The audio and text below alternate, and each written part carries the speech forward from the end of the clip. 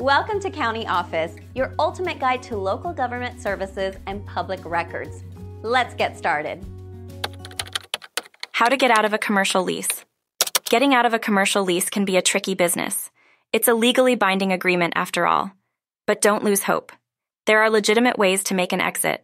First, you can sublease the space. This means finding someone to take over your lease.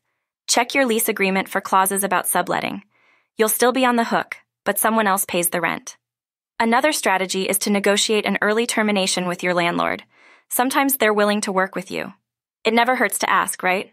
You could also look for a lease assignment. This is like subleasing but more permanent. The new tenant takes over your lease completely.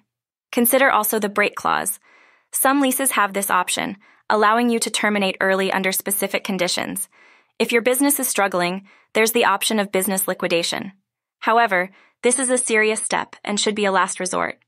What if your landlord breaches the lease? You might have grounds to walk away, but you'll need to tread carefully and consult a legal expert. Lastly, always read your lease thoroughly. Knowing your rights and obligations is key to finding an exit strategy that works.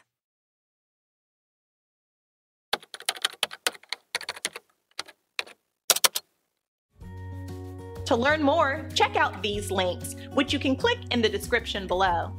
And feel free to comment your questions. We're here to help. Thanks for tuning in to our video.